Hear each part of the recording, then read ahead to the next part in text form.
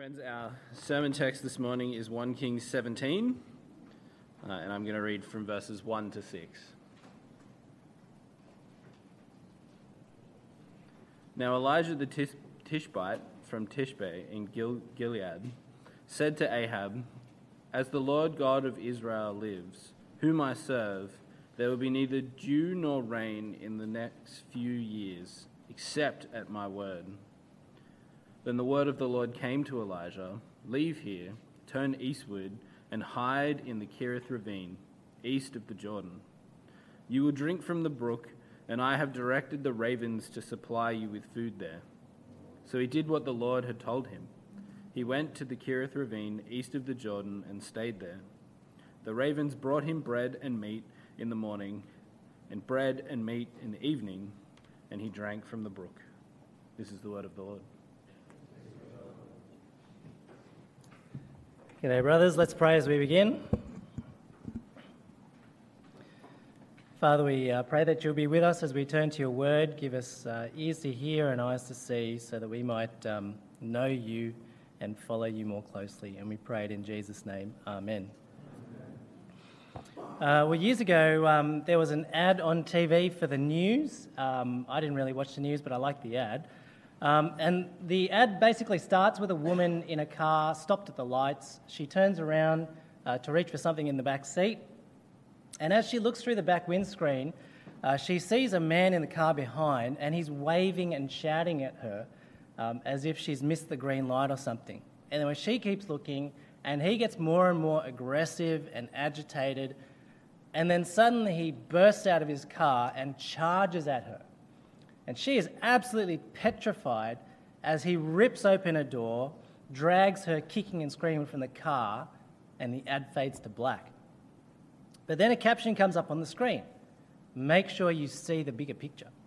And then the scene is replayed, except this time the camera pans back, and you see that while the woman's back is turned, smoke has started to rise from the hood of her car, and then it turns into flames. And once you know the bigger picture, you see the real situation. He's not a road rager, he's desperately trying to warn her. He's not mugging her, he's saving her. Uh, in these last few weeks of term, I want us to look at the prophet Elijah. He is a very striking and important figure, um, but he does, also does some things that seem very strange and harsh.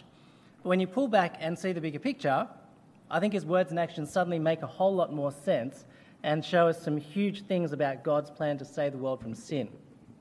And so uh, I think Elijah is someone that I keep on returning to every now and again, and every time I do, uh, just seem to get more and more out of uh, his narrative. So let's uh, have a look at it.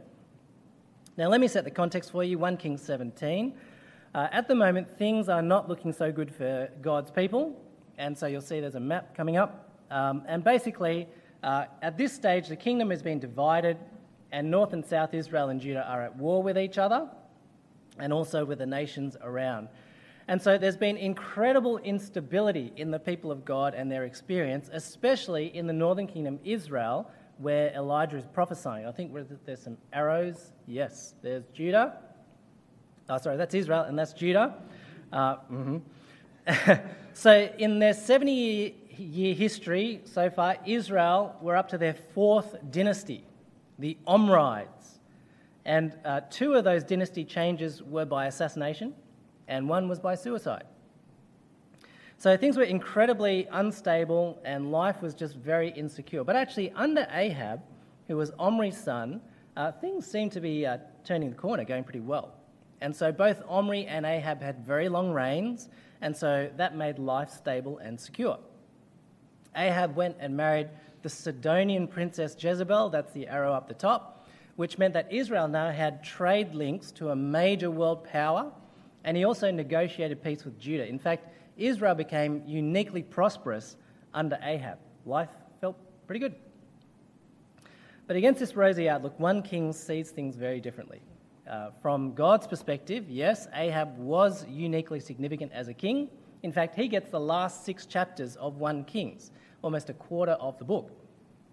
But he is not uniquely significant in a good way, because in chapter 16, verse 30, we see Ahab, son of Omri, did more evil in the eyes of the Lord than any of those before him. And why? Verse 31 He not only considered it trivial to, consi- co- to commit the sins of Jeroboam, son of Nebat, but he also married Jezebel, daughter of Ethbaal, king of the Sidonians, and began to serve Baal and worship him. He set up an altar for Baal that he built in Samaria. Ahab also made an Asherah pole and did more to arouse the anger of the Lord, the God of Israel, than did all the kings of Israel before him. See, as bad as all the other kings of Israel were, Ahab is unique because he is the first king to openly defy Israel's own God. And in 1 Kings 17 and following, he pretty much launches an all out attempt to erase Yahweh from Israel and replace him with the Baal Jezebel had packed in a suitcase. And so Elijah's ministry, which also coincides uh, with the end of 1 Kings, comes in the context of great opposition to biblical truth and biblical faith. So there's a lot of parallels between Elijah and ourselves. And so let's listen carefully to what God has to say to us through this. And I've got three points from 1 Kings 17. We're going to cover the whole chapter. Uh, God's word sustains the world.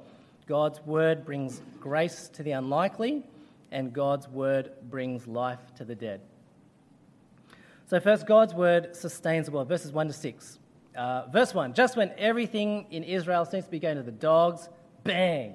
Elijah appears without warning and marches up to Ahab and says, As Yahweh, the Lord, the God of Israel, lives, whom I serve, there will be neither dew nor rain in the next few years except at my word. So, with a word, he bursts Israel's prosperity bubble and plunges them into a national emergency. Uh, we Aussies know how deadly drought is. Um, one Aussie writer said of the recent New South Wales droughts farming is like a cup of soup. Just add water and everything is okay. No water, not okay. Drought equals destruction and ruin of our land, our animals, our incomes, our families. And in an agrarian society like ancient Israel, where life depended so transparently on being able to grow the food you ate, drought gives you a very simple but chilling sequence drought, famine, hopelessness, death. And this was God's judgment for Ahab leading his people away from his word to worship Baal. But it's important to say that this wasn't a random punishment, uh, like, I don't know, a parent who can't control his kids shouting in desperation, all right, then no TV for the next few years, or anything like that. Now, there are two reasons why God's judgment here takes the form of a drought. Uh, the first one is because God already told them that's what would happen. The covenant curse in Deuteronomy 28 spelt out the consequence of rejecting the God whose commands brought the rains to bless the earth.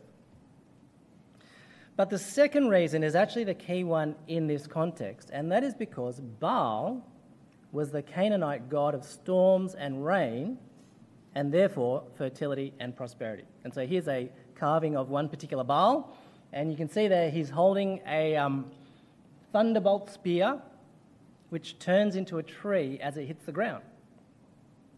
And so Baal worship actually offered very similar, similar blessings to what Yahweh promised his people in Deuteronomy, but simply at a massively reduced cost. No all of life obedience, no serving others above yourself, no hard yards of putting God first. A uh, few simple rules, a couple of ceremonies, a few payments to keep Baal happy, health, wealth can be yours. And so Elijah's declaration of drought really struck at the heart of Baal's claim to bring rain and fertility and life. And in fact, 1 Kings 17 to 19 um, are written as something of a battle between Yahweh and Baal, kind of like a walk off or something like that, to determine who the true God really is. But each episode in these chapters actually shows it's not really a battle at all, it's just a demonstration of how stupid it is to follow anyone or anything but Yahweh. It is an object lesson for Israel in the need to hang their lives on nothing but the Word of God. And that actually explains the somewhat surprising turn the narrative takes immediately in verse 2. Then the word of the Lord came to Elijah Leave here, turn eastward, and hide in the Kerith ravine, east of the Jordan. You'll drink from the brook, and I've directed the ravens to supply you with food there. So he did what the Lord had told him. He went to the Kerith ravine, east of the Jordan, and stayed there. So, pretty much straight after Elijah's declaration in verse 1, he does a mic drop, runs, and just disappears. Uh, now, why? Well, some people think it's because Ahab and Jezebel got really mad and tried to kill him, and there's probably some truth to that. But I don't think that's actually the main reason. I don't think this is like Elijah egging a house and then bolting so he doesn't get caught. Um, or, as another commentator put it, uh, the Kerith ravine is not the safe house in Yahweh's witness protection program. No, it's because Elijah is God's prophet who brings his word to his people. And so his withdrawal means the absence of God's word from his people. It's not so much an act of fear as an act of judgment that goes hand in hand with verse 1. As serious as the drought of rain was, it was just an illustration of something even more terrifying, and that is a drought of God's word. Uh, the Bible always treats the silence of God as agonizing, as death itself. And when you stop and think about it, that's exactly right, isn't it? Uh, Colossians 1:16 says about Jesus, "In him all things hold together." Hebrews 1:3 says, "Jesus sustains all things by his powerful word." Brothers, we've got to remember we exist and live each moment only because God wills every single beat of our hearts. Without His sustaining word, there is no life. And if Israel hardened their hearts against God by chasing after Baal, they would reap what they sowed no word, no life. And sometimes it takes a crisis to expose the truth, doesn't it? Um, so, uh, in some ways, the drought is actually not just a punishment, it's also a loving wake up call. Uh, it's a bit like God's hammer, designed to smash through the walls of Israel's stubborn hearts and the facade that Baal could give them life to lead them back to Him. And as I think about that challenge, it's a good one for us as well, isn't it? Because here we are at Theological College, soaking ourselves in the study of God's Word. And yet, how often, on brief reflection, can I think of areas in which I neglect God's Word? I forsake God's Word. And sometimes, in my utter foolishness, I even think I can live in defiance of God's Word without consequence. And so, if that is you as well, then verses 1 to 6, God is saying to you this morning wake up, come to your senses, come back to God's word, and find true life in Him alone. Now, the second point the passage makes from verses 7 to 16 is that God's word brings grace to the unlikely. And so uh, Elijah hanging out at Kerith Brook, in verse 7, the brook dries up, and he is now given a new word from God. Go once to Zarephath in the region of Sidon and stay there. I have directed a widow to supply you with food. So he went to Zarephath. When he came to the town gate, a widow was there gathering sticks. He called to her and said, Would you bring me a little water in a jar so I, may have a drink? As she was going to get it, he called, And bring me, please, a piece of bread. Now, in the context of Middle Eastern hospitality, uh, what he asked for isn't much at all. But in verse 12, we read about this widow's desperate situation. And you've got to remember, in the ancient world, there was no Centrelink, there was no pension, social welfare program. And so to be a widow was pretty much to be destitute. And therefore, in a drought, you pretty much had no chance. And so this widow is down to her last handful of flour and oil, just enough to bake a little bread roll for her, her and her son to eat before they wait to die. It's a situation of total hopelessness. But it's also a situation of total irony. See, it's all taking place, verse 9, in Zarephath of Sidon, which is where Jezebel is from. This is Baal's hometown. So here is this widow in Baal Central, and yet she is at death's doorstep because there's been no rain and no crops. And the implication should be clear Baal, great rain god he is, can't even get a drop to fall on his home turf. So Elijah says to her in verse 13, Don't be afraid. Go and do as you have said. But first, make me a small loaf from it and bring it out to me. Afterward, you may make some for yourself and for your son. For this is what Yahweh, the God of Israel, says The flour jar will not become empty, and the oil jug will not run dry until the day Yahweh sends rain on the surface of the land. And so this section raises the key question for us again Israel will not hang their life on God's word, but will this pagan widow, will this subject of Baal, hang all she has and her entire life on nothing but the word of the God of Israel? Verse 15, she does. She went away and did as Elijah had told her. So there was food every day for Elijah and for the woman and for her family. For the jar of flour was not used up and the jug of oil did not run dry, in keeping with the uh, word of Yahweh spoken by Elijah. And so, what we have in this passage is that in the midst of drought, this widow, a pagan nobody that no one would have expected the God of Israel to reach out to, finds her life sustained by his gracious work. And so the point should be clear that there is no one outside the scope of salvation. No one too low, no one too far away, no one too ungodly, no one too broken or evil to be undeserving of the gospel of God's mercy. Isn't that what makes our gospel so wonderful? Now, we know this, don't we? We're preparing to do this for our lifetimes. But it is so challenging to live out, isn't it? Evangelism can be really hard and emotionally distressing. And let's face it, you can often feel like an absolute goose trying to bring up the gospel with someone, can't you?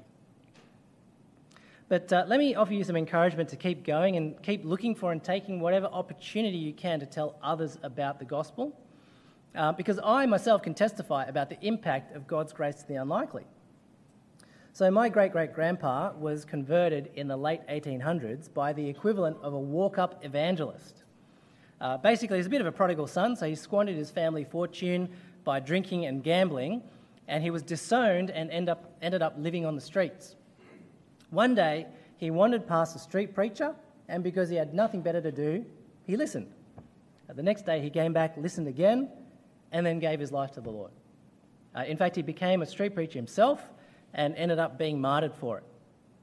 Uh, but because of him, Christianity has run strong in my family for generations, uh, flowing down through my mum, who was the one who led me to Christ as a kid. Now, I'll be honest with you, I hate the idea of street preaching. All right? I get embarrassed if I'm walking in the city and you see one, and my internal dialogue is something like, oh man, wish you'd stop, man. You're just making Christians look like crackpots. And then I think, shut up, you idiot. I am so thankful for that turkey who decided to stand, that, stand up that day and tell anyone who would listen about the Lord Jesus. You know, most people probably walked straight past him, many probably ridiculed him. But he just kept on doing it. And for me, it's so wonderful that he did. I don't think he would have any idea of the impact of his preaching on my life or those in my extended family who are Christians more than a hundred years later. But without his preaching, we might have never known the grace of God. So, brothers, let me encourage you and challenge you. Evangelism's hard. I find it very difficult. But God shows us in this passage, He is extending His powerful, gracious word to the most unlikely of people. And in His sovereign grace, those who you may least expect, whom he has chosen, will respond and hang their life on his word. And, fellas, if you needed any more convincing of this, just have a look around this room, which is full of unlikely people to whom God's grace has been extended. It is never in vain to offer life to those whose only other option is death.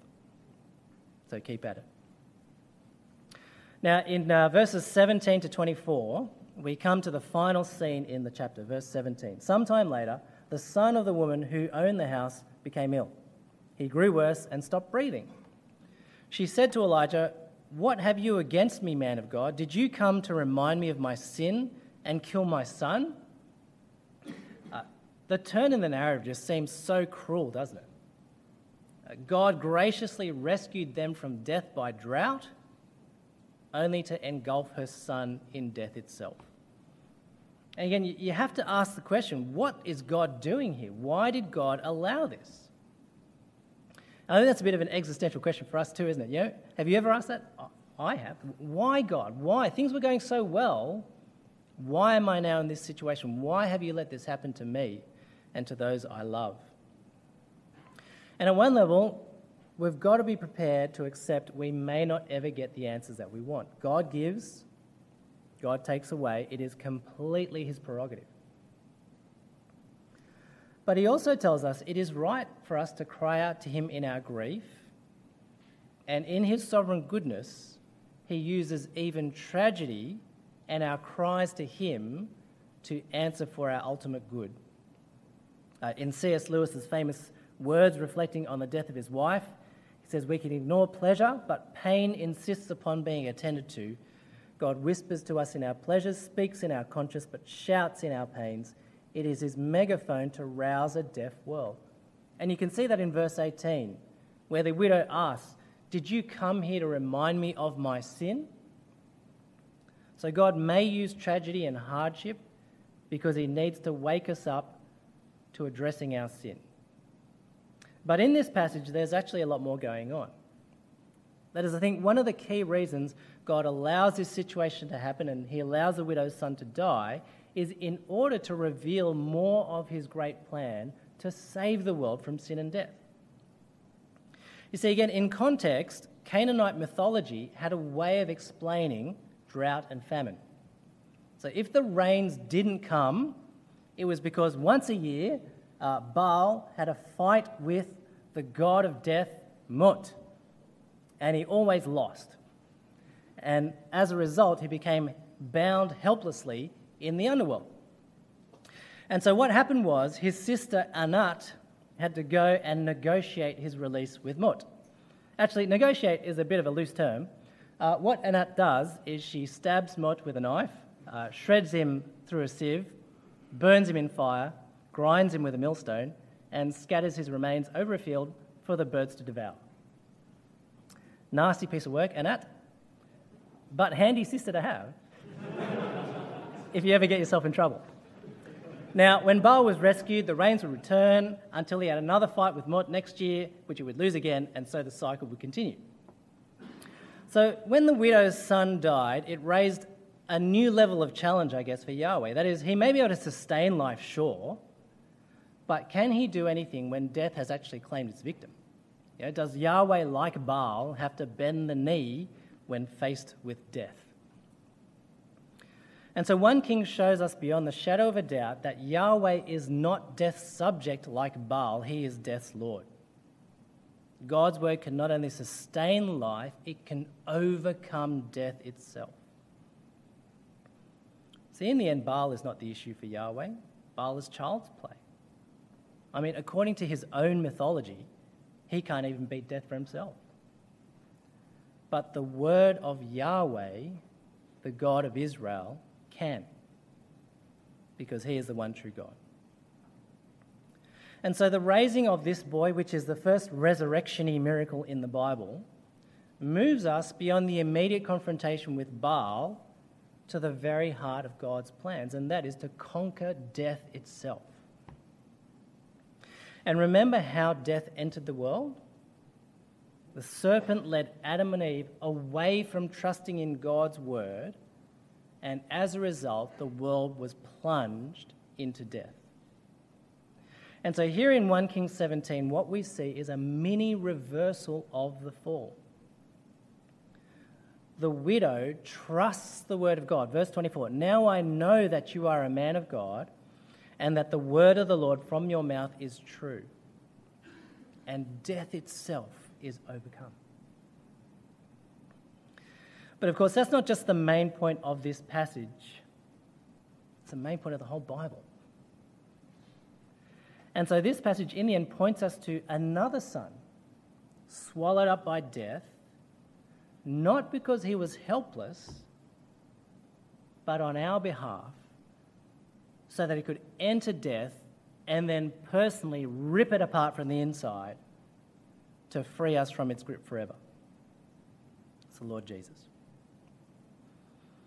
All right, so what do we get from this? Well, I think there's so much to learn from uh, 1 Kings 17. And uh, I think one thing is to just recognize the Christian life is always going to be challenging. But I think we see, particularly in Elijah's ministry, what, uh, uh what living for Christ in, an, in a context of open defiance and rejection of Yahweh and His word looks like. And so, uh, way back in 1928, I think quite reminiscent of uh, uh, Ahab's time as well, but way back in 1928, G.K. Chesterton wrote, These are the days when the Christian is expected to praise every creed except his own. And uh, if I may say, just like uh, Chesterton's 1928 hairdo is so right again in 2021, so are his words. Uh, as remember, brothers, here in this context, we're really normal with each other, and it's kind of cool to be Christian. But let's face it, increasingly in our context, being Christian just makes us look weird and strange to others. And it's pretty hard to miss the message of those around us that they think the word of the God of Israel is outdated, offensive, and not worth having. And so we've got to remember that entrusting ourselves to God's word, in seeking to serve others with God's word, may well bring us rejection, persecution, and suffering. And it may be very real and very painful, as it is for so many of our brothers and sisters around the world. But 1 Kings 17 teaches us to see the world not through those eyes, but as it truly is. God's word alone sustains life. God's word alone brings grace to the unlikely. God's word alone brings life to the dead. It is worth every bit of effort and hardship it may bring, including, may I say, in the lead up to exams, your theological study here. So make sure every aspect of your life and ministry hangs on nothing but the Word of God. Let's pray. Father, in this sinful world, there are so many competitors for our affections and for first place in our hearts. Father, for us individually, we acknowledge them and bring them to you, whether they are Baals or whether they are more subtle idols. Father, please remind us from this passage of that stark call that without your word, there is no life. But with your word, there is life eternal. And please use that to fuel us and empower us for a lifetime of looking to you and serving others with your word. And we pray it in Jesus' name. Amen.